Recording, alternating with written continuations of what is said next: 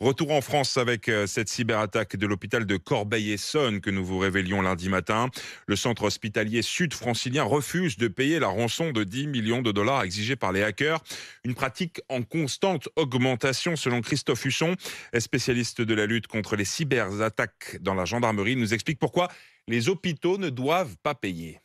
Typiquement, euh, lorsque euh, vous payez la rançon, vous avez euh, en retour une clé de déchiffrement vous permettant théoriquement de retrouver un système nominal.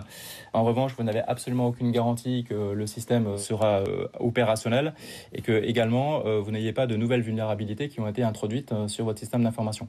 Les divulgations de données existent. Hein. ce sont des données que vous pouvez retrouver ensuite sur le dark web et qui pourront potentiellement servir à d'autres personnes malveillantes. Et donc, la gendarmerie ne conseille absolument pas de payer une rançon, ce qui voudra dire que euh, quelque part le, le crime paye.